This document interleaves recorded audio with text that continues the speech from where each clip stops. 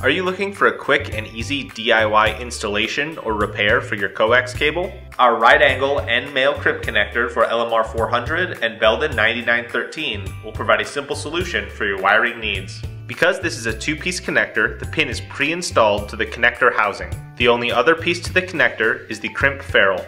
For this installation you will need a coax stripper, coax cable, a soldering iron, a crimp tool, and the N-type connector.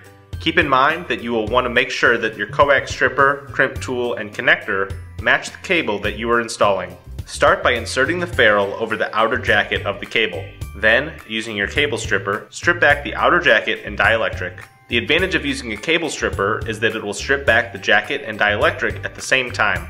Pull back the braided shield and insert the connector housing over the cable. Make sure that the center conductor reaches the well inside the base of the connector. Then solder the conductor to the solder well. Slide the ferrule up to the base of the connector, folding the shield with it. Crimp the ferrule under the outer jacket to complete termination. Then screw on the small backplate. Congratulations, you have successfully installed the N-type connector. For all of your cable and connector needs, choose Show Me Cables.